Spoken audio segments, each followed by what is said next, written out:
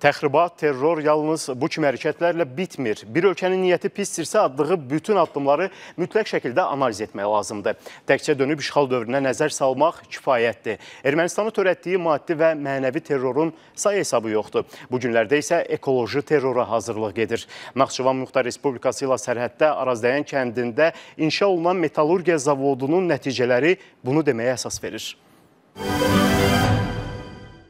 Elə hesablayıblar ki, oradan olan bütün o, o tullantılar, e, həm bərk tullantılar, həm maye tullantılar, həm qaz şəklində olan tullantılar Naxçıvan ərazisinə e, e, tökülmək, axmaq və yaxud da hava yolu ilə gəlmək e, ehtimalı var və bu da haqlı olaraq Azərbaycan dövlətinin etirazına səbəb olub, ictimaiyyətin etirazına səbəb olub. Həm BMT-nin müvafiq qurumları, həm Ermənistanın üzv olduğu o beynəlxalq təşkilatlar hansı ki, bilavasitə ətraf mühitin mühafizəsi ilə məşğuldur, onlar səsini qaldırmalıdırlar. Bu ikili standart burada da özünü göstərir.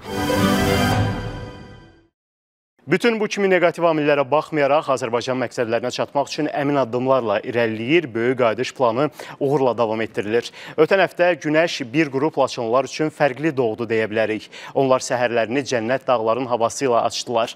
Laçına köçən ailələrdən birinin həyəcanını biz də onlarla birgə yaşadıq. 30 ildir məcburi köçkün həyatı yaşayan Laçın sakinləri köçkünlük həyatını böyük kədər hissi ilə xatırlayır. Deyirlər ki, bu gün işğal acısını unudub böyük qayıdışın sevincini yaşayırıq.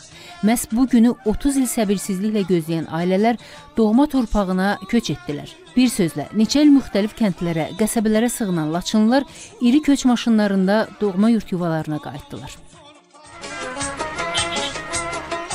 Bir vaxtlar göz yaşları içində doğma yurtlarından çıxarılan Laçınlılar indi sevinərək də baba torpaqlarına geri dönürlər. Sevincimiz ona görədir ki, torpaqlarımız alınıbdı.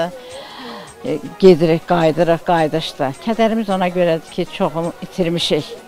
İtir itirdiklərimizi orada görmədiyimiz üçün kədərlənirik. Biz çox fəxr edirik ki, bu gün öz doğma vətənimizə, Laçına qayıdırıq. Bu günlər keçmiş məcburi köçkünlərin yaşadığı sevinc, göz yaşları 30 ilə yaxın düşmənin tapdağında olan torpaqlarımıza böyük qayıdışın ifadəsidir. Düzdür, indi həm sevindiricidir, həm kədərləndiricidir ona görə ki, müəyyən səbəblərdən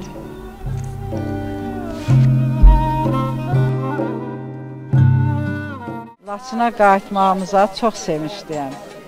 O sevinclə də bərabər kədərliyəm. Laçın bizim üçün çox əzizdir, çox doğmadır. Uşaqlıq illərimiz orada keçibdi. Əgər mənim öz ürəyimdə imkan olsa, qəbirstanlıq ziyarət eləyərəm, sonra öz evimizə gedərəm. Çünki 31 ildir o hisslərlə yaşayır. Onda 52 yaşım vardı. İndi 83 yaşım var. Ömrümün yarısı burada, yarısı orada baba. Bir vaxtlar hər bir məcburi köçkünün biri-birinə bir arzusu vardı. Ümid edirik ki, növbəti görüşümüz dədə-baba yurdumuzda, həsrətini çəkdiyimiz evimizdə olacaq. Bu arzu reallaşdı. Biz də Laçınların sevincinə şərik olmaq üçün onlarla Laçında görüşdük.